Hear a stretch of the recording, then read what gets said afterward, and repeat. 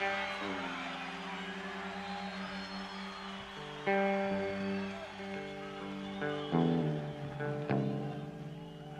you.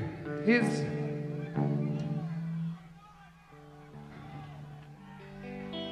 It seems uh,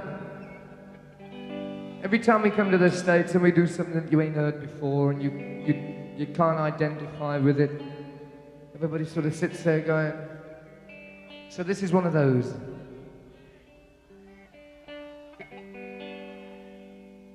This is off the new album, and uh,